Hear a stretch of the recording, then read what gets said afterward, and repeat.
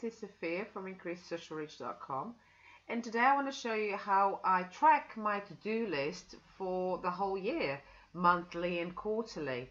So I have, I use with my members, the Master Your Media members, uh, a planning a spreadsheet where we put every all our goals for the year and our, all our goals for the month and then we just go and check it. So I just want to show you today um, February, for example. And